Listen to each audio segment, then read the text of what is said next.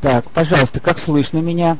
В чате хотя бы пометьте плюсиками. Как меня слышно? Спасибо. Итак, а, коллеги, а, меня зовут Александр Александрович. А, мои контактные инфоты представлены на слайде, я всегда открыт для общения. Тема моего выступления – педагогические особенности МОК. Я уже даже не расшифровываю. У меня два, два вопроса в моем выступлении, а, который обозначен на данном а, слайде. Итак, первый а, вопрос. Понятие история реализация. Поначалу я скажу об образовательных ресурсах, которые являются мировой объективной тенденцией. Эта тенденция питается идеями утопистов Сен-Симона, Фурье, Оуэна, нашего соотечественника Кропоткин, Кропоткина. Я а, эту тенденцию обозначаю как образовательный коммунизм. Это а, своего рода прочтение, новое прощение прекрасных коммунистических принципов. Все во имя человека, все для блага человека. А, примером успешной реализации это является, этих принципов является, например, Википедия.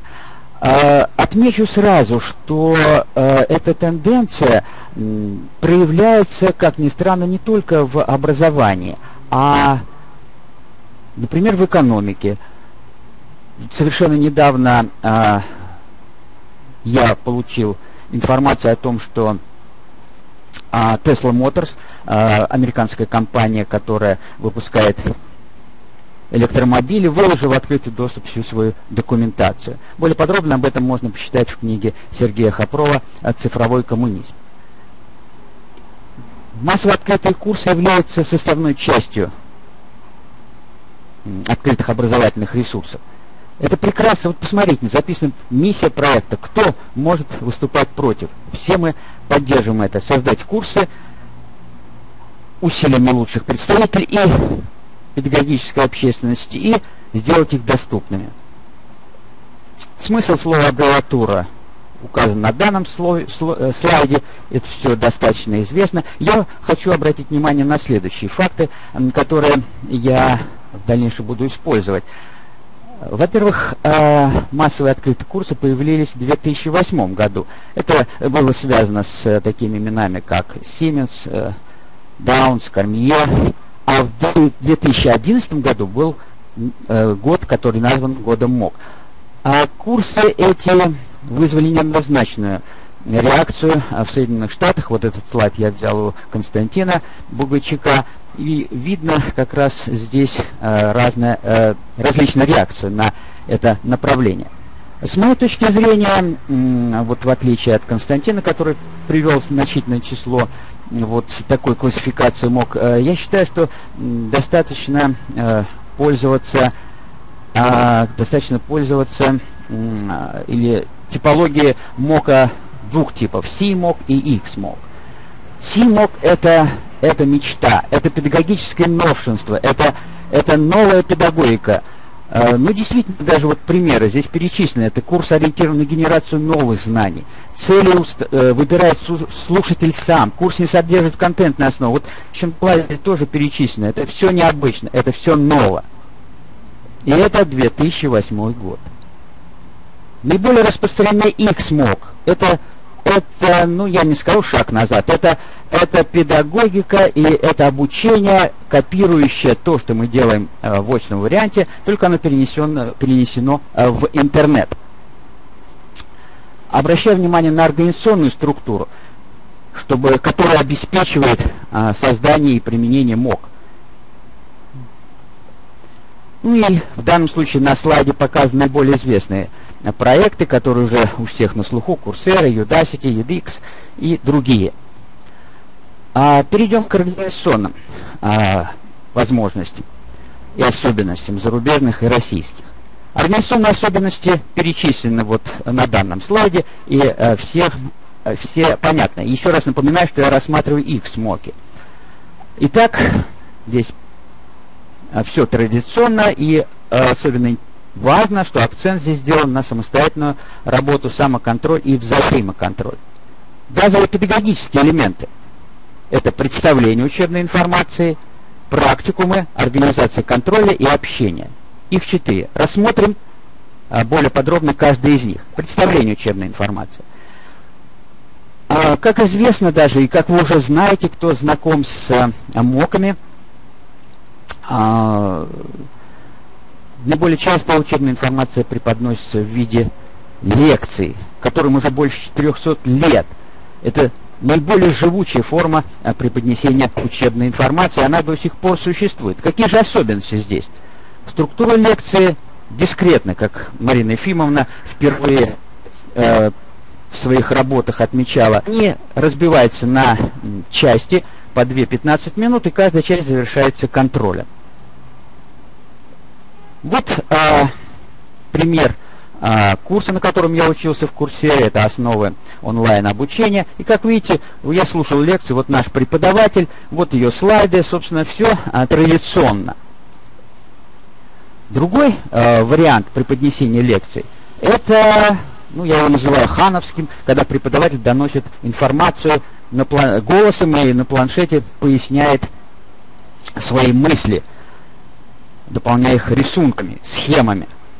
Обратите внимание, меня это поразило. Это фактически возвращение к возвращение к меловому периоду, может быть, когда преподаватель объясняет словами э, свой урок и рисует на доске. Вы представляете, тоже живучий. Оказывается, это лучший вариант, судя по э, популярности. Попу судя по популярности э, этого э, метода. То есть лекции, они живучие, они эффективны, и в то же время э, эффективно и вот такой вариант донесения информации. Ну, здесь вот привес, привес, э, приведены некоторые варианты вот такого э, хановского преподнесения учебного материала. Практикумы в их смоках э, традиционные, они не вызывают никаких эмоций у э, преподавателя. Э, в организации контроля тоже, я бы сказал, все понятно. Я хочу только обратить внимание на четвертый пункт. Это самостоятельное а, перекрестное оценивание студента. Вот это, это для меня было открытием. Ну, точнее говоря, это был знаком и ранее с такими методами еще в, да, э, в 200-летней давности. А, но здесь, казалось бы, как они могут, сами еще не научившись, проверять друг друга. А Показывает практика, показывает, что оценки, которые выставляют студентам, вот видите здесь, и студенты друг другу, и оценки преподавателя хорошо коррелированы. Это новшество, которое мы обязаны и должны использовать а, в своих курсах. Общение и сотрудничество – это основа всех, основа всех а, МОКов. А, ну, здесь перечислено, что это дает, и все это в основном делается в классических а, форумах. На что мне хотелось бы обратить внимание, что на исследовательский характер МОКов, это каждый, каждый курс, э, в каждом курсе ставятся задачи научные, обобщения, э, какие-то выводы, которые направлены на э, повышение качества эффективность э, этого процесса. Что можно сказать про российские МОКи?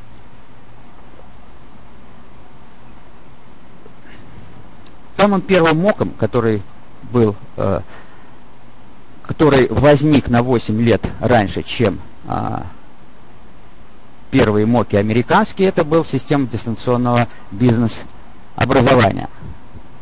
Она была в 2008 году, и вспомните, я говорил, э, в 2000, 2000 году возник, э, организована, а первые э, их смоки, э, первые моки появились в 2008 году. В 2011 году э, появились X-моки, а C-моки в восьмом году. Так вот, э, значит, Национальный институт Интуит, все его тоже хорошо знают, он в 2000 году начал функционировать. Ну и вот последнее это э, универсариум, наше достижение. Итак, коллеги, какие выводы? А МОК это социально-педагогическое, я подчеркиваю, социально-педагогическое явление, которое развивается. И, еще раз повторяю, это часть всемирных образовательных ресурсов. И э, они требуют дальнейшего изучения, особенно со стороны педагогики. Методические подходы, ну, которые я коротко рассказал, да, методы контроля, об, общения, взаимопомощи, необходимо э, использовать и не только э, в э, дистанционных курсах, но и в очном варианте. Третье. Необходимо больше внимать внимание уделять развитию исследованию педагогических аспектов СИМО, коннективистских курсов. Вот это, вот это действительно педагогика, это новая педагогика. На постсоветском пространстве этим занимается Иван Травкин. А, значит, а, Бугайчук и Кухаренко проводят а, а, такие курсы. Ну, по крайней мере, мне больше неизвестно. Надо поддерживать, надо поддерживать это направление. Далее приведены приведены а, информационное обеспечение в виде текстовых файлов и а, также а, видео. Итак, благодарю за внимание. Готов ответить на все а, в любом варианте. Спасибо.